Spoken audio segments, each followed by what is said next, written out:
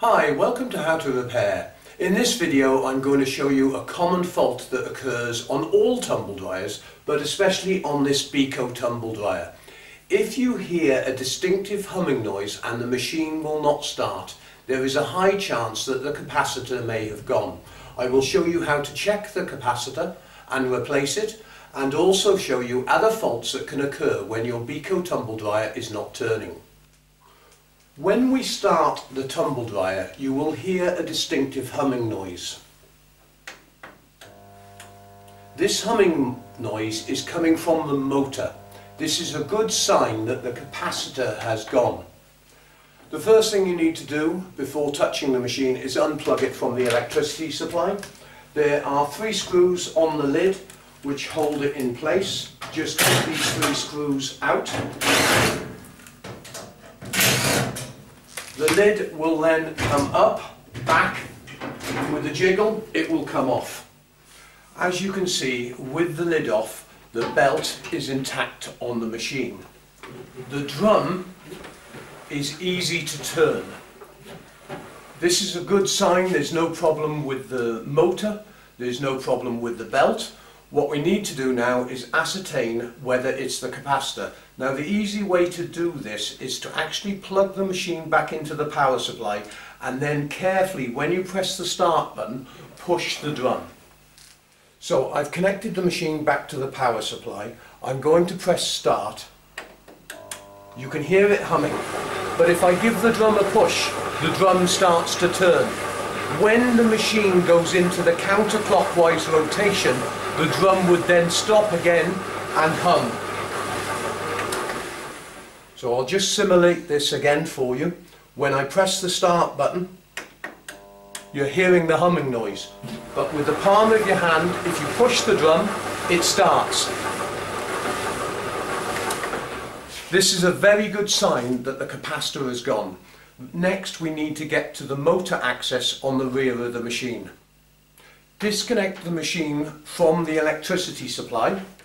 So to access the motor cover we need to remove the heater plate at the back here and also the inspection cover on the right hand side.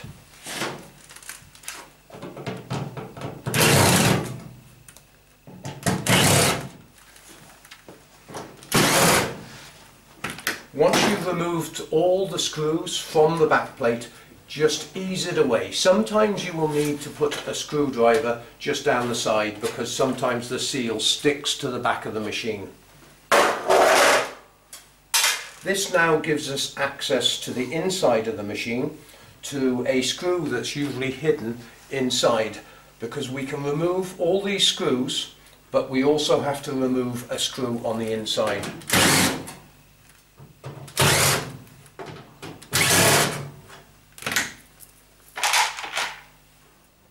So here we have the access airflow and just down inside here you can see the screw.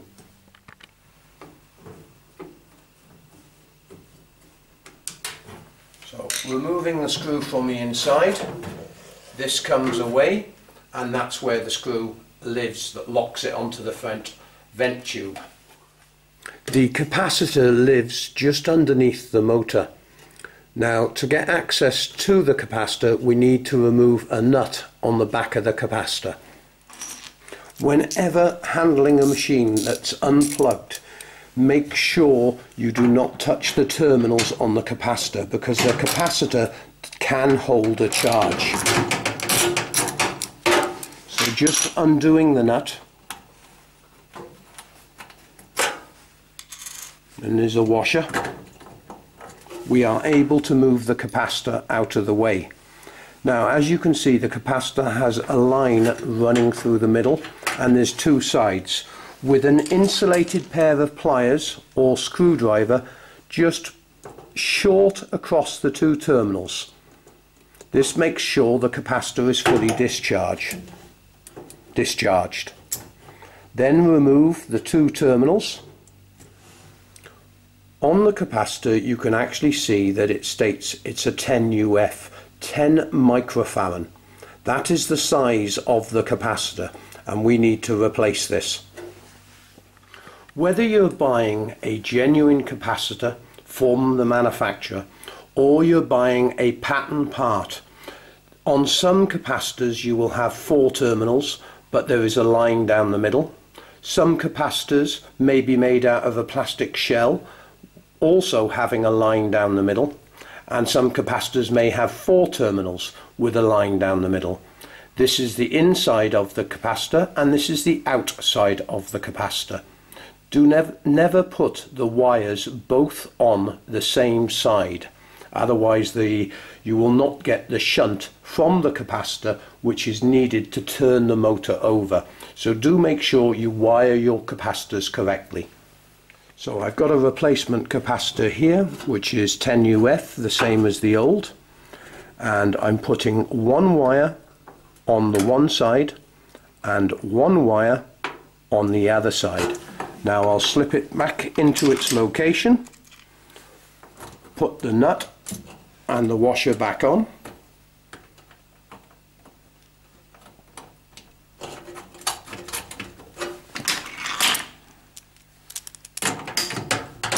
Just take it up, holding the capacitor quarter of a turn and now we're ready to reassemble the machine and test it. So quickly reassemble this, remembering to put the screw on the inside.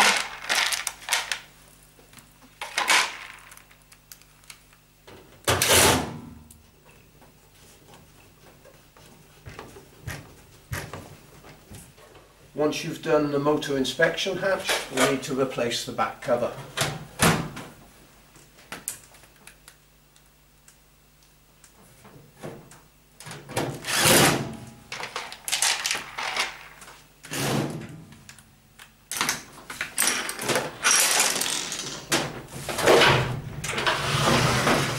Now with the capacitor replaced, I'm leaving the lid off so you can actually see the drum turning. When we press the start now, the drum starts straight away. And there you go. Thank you very much indeed for watching this video. Please remember, if you do want to fully service your uh, Beko tumble dryer, there is another video in the link above. And if you do need parts for this appliance, please make sure you check the UF rating of the capacitor. It is very important to replace the capacitor with the correct size. I have put a link below which will take you through to all tumble dryer capacitors and if you have any questions please remember to contact us at the website. Thanks very much indeed for watching.